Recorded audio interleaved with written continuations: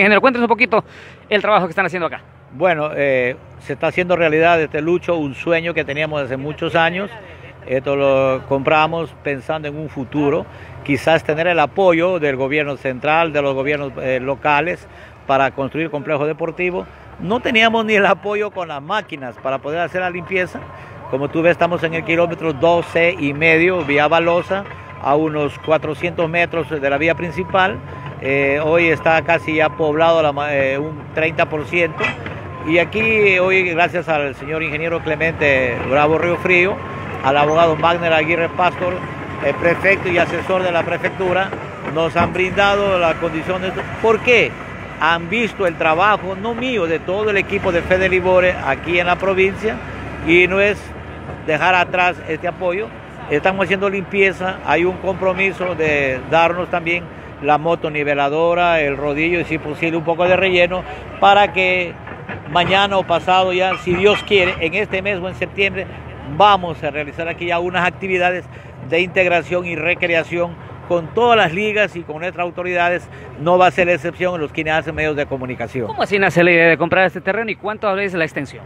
Eh, nosotros teníamos un ahorro hace muchos años, por el 2006, 2007 teníamos un ahorro, eh, ¿qué? Menos, 2005, 2002, esto tiene ya 17, mucho tiempo.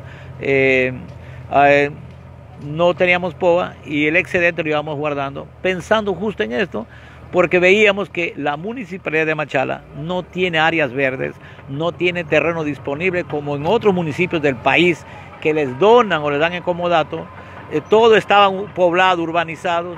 Peor el gobierno provincial, con el ahorro en una asamblea, cuando llegaron unos herederos a vendernos este predio, decidimos de una comprar y lo adquirimos, pensando justo en, este complejo.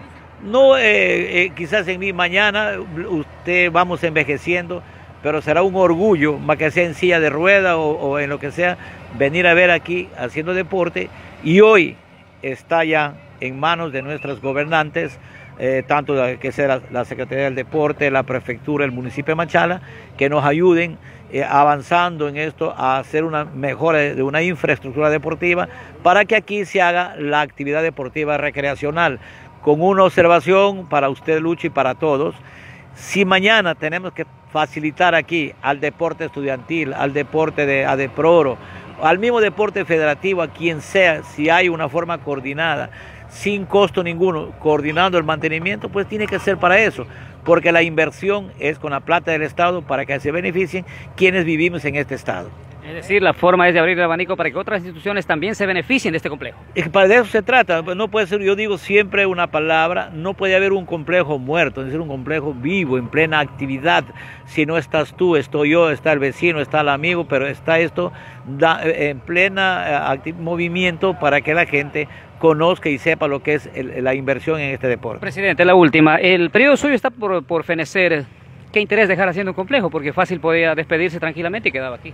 No, eh, no es eh, qué modo de hacer. Simplemente uno hay que trabajar hasta el último día de mi mandato, que fenece el 13 de diciembre del presente año.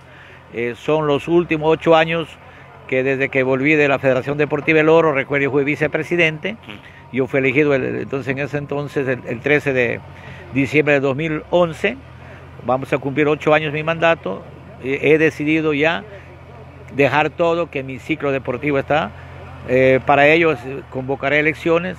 Si logramos dejar una Fede Libore posesionada en el ámbito dirigencial del pueblo y de ustedes con medios de comunicación, conseguimos el año 2018 ganar los Juegos Nacionales, los séptimos por primera vez en la historia y también valga redundar, primera vez que participaron las 24 provincias en una cita nacional.